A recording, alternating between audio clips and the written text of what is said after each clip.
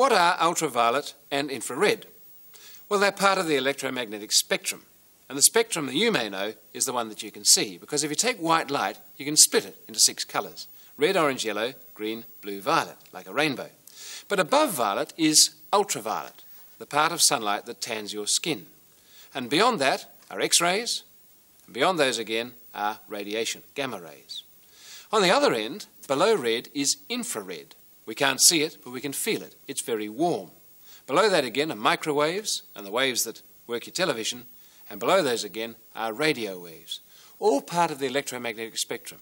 We can only see the colours or white light in the middle, and at either end of that are ultraviolet and infrared.